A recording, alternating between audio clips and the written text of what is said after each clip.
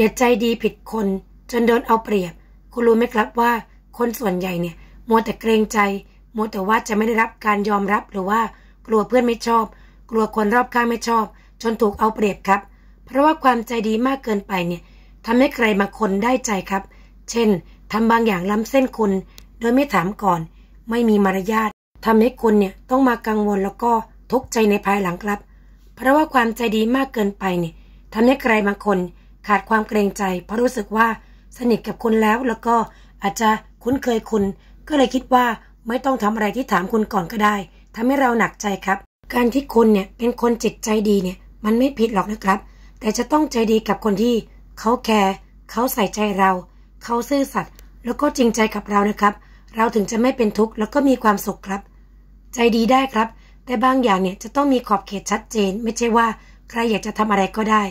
การทำบางอย่างชัดเจนเนี่ย ไม่ใช่ว่าตอนไหนก็ได้ครับ คนที่เขาแคร์คุณเขาจะมีมารยาทกับคนครับ เพราะความใจดีมากไป จะทำให้ใครบางคนเนี่ยเขาได้ใจ แล้วก็อาจจะเผลอทำสิ่งที่ไม่ถูกใจเรา สุดท้ายเนี่ยเราไม่กล้าพูดตรงๆครับ เราก็มาไม่สบายใจทีหลังแล้วก็เป็นทุกข์ใจครับ การใจดีเนี่ยเหมือนกับการเชื่อใจ ฉะนั้นเราจะต้องรอบคอบ เมื่อจะต้องใจดีกับใคร ไม่ใช่ว่าละเลย ไม่ตรวจสอบหรือว่า ยอมให้ใครเนี่ยมาทำอะไรกับเราก็ได้ เพราะความใจดีมากไป จะทำให้คุณได้รับคำพูดที่ไม่คิดจากใครบางคน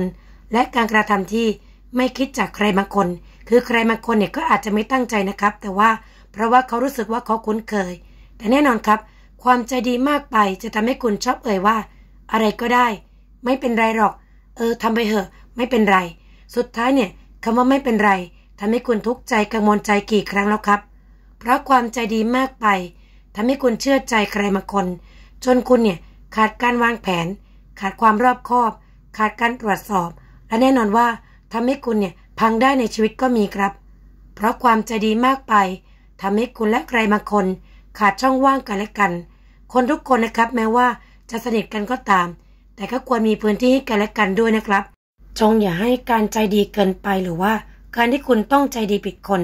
ทำให้การตัดสินใจของคุณผิดพลาด เบี่ยงเบน สุดท้ายเนี่ย ความกังวลเกิดจากการที่คุณเกรงใจจนเกินไปครับ และแน่นอนครับ การทำดี ใจดี ควรทำให้ถูกคนจะได้ไม่เสียเวลา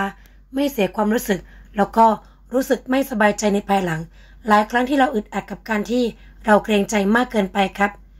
การใจดีกับการทำดีให้ถูกคน ถูกที่ถูกเวลา มันมีเส้นบางๆที่คุณเนี่ยจะต้องเรียนรู้นะครับ เพราะว่า การทำให้ตัวเองสบายใจ เป็นเรื่องแรกที่คุณจะต้องโฟกัสก่อน ไม่ใช่คนอื่นครับ อย่าลืมว่าก่อนให้ใจกับใคร อย่าลืมตรวจสอบว่า เขาก็ให้ใจ ใส่ใจ ซื่อสัตย์กับเรามันเหมือนกัน เพราะฉะนั้นถ้าเกิดว่าเราต่างคนต่างให้พื้นที่ ทั้งสองฝ่ายก็จะสบายใจครับ ขอบคุณทุกท่านที่กดแชร์เพื่อแบ่งปันนะครับ วันนี้น่าจะเป็นประโยชน์กับทุกคน อาหารสมองตอนเช้า เสิร์ฟตอน6โมงเช้านะครับอบไปอีสานมาสกอต NLP สวัสดีครับ